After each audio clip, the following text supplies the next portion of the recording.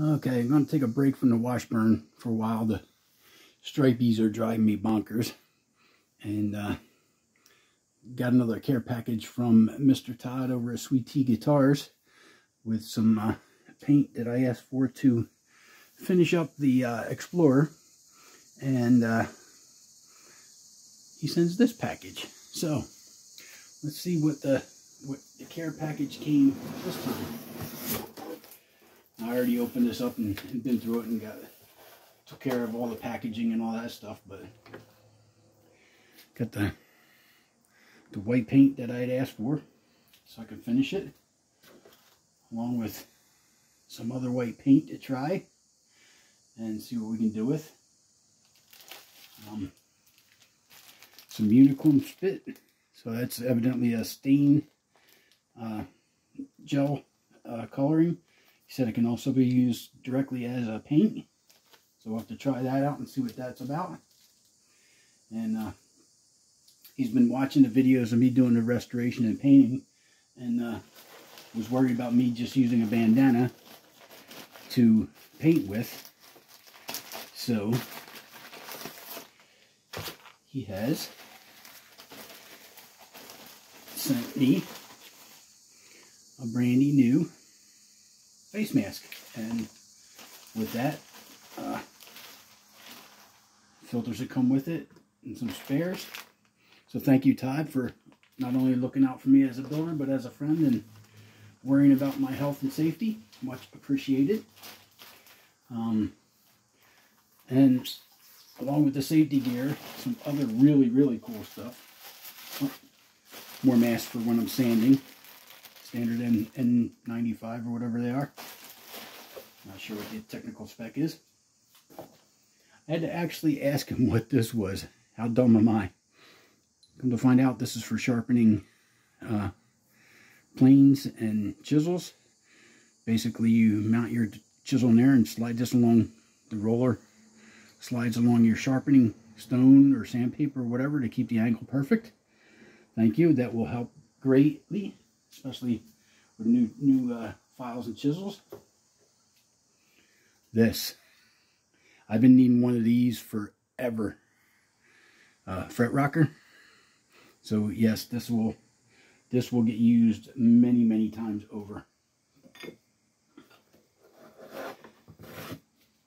He also said a uh, um, yeah fret not fret leveling a uh, just based on that. um, straight edge for the neck. Uh, 24 and 25 inch scale lengths. Uh, I borrowed a friend so I can actually give that back to him after a year and a half. Brandy new scraper. So I've been making doing makeshift scrapers out of different pieces of metal that I've had laying around, but this is an actual square and flat piece that will come in really, really handy. Um, along with that comes various various uh, shapes and forms and textures uh, sanding blocks so I no longer have to use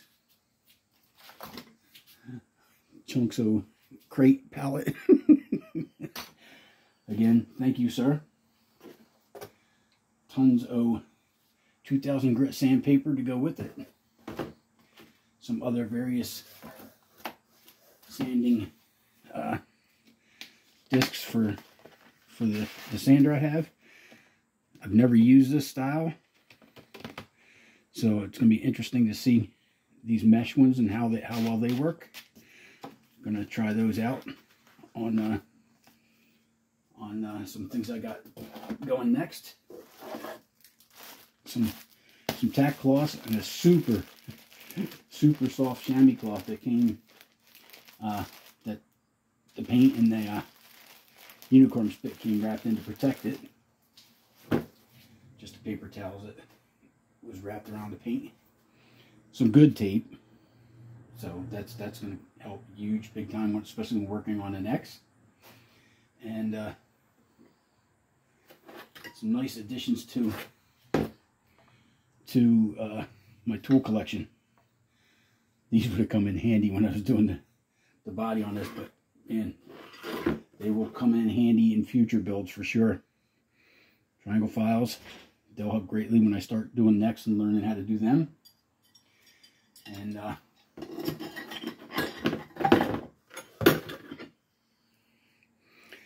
fret crowning crowning tool. Can't wait to try that out versus my wooden dowel sandpaper uh, rig. Some tiny tweezers for doing the little stuff, which will help. I don't have any non-medical tweezers. I do have my, uh, my forceps that I use a lot. These things come in handy for a lot of things, especially when I do soldering work. Uh, square for setting setting angles and stuff. That will definitely help when I start doing necks. Not even sure if this is even all getting in the video. Not even paying attention to that. It's so far behind me. But yes, what a care package, Todd. Thank you, thank you, thank you. And I will put these all to good use. You know you contributed to uh, the addictions, right? I was only planning on finishing out this year's build and uh, maybe build one couple years down the road or whatever, but now I feel obligated to keep on building. So we'll see where that leads and, and how that works out and where I go with all that. So thank you, sir. Cannot tell you how much I appreciate all this help. And uh, this is going to be huge for, for, for moving forward. Um, especially when I start getting into building uh, necks and such. So I think at that point, at this, excuse me, at this point, it is time to start putting this stuff to use.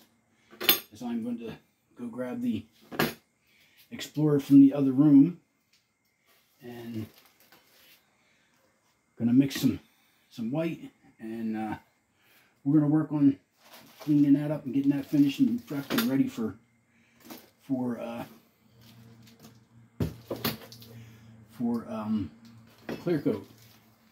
Where this weather gets too too crazy down here, it's we're starting to hit into fall and the winds are going to start picking up and and that's going to make life a little more interesting when it comes to finishing things and painting outside and all that. So again, Todd, I can't thank you enough, brother. Peace and love.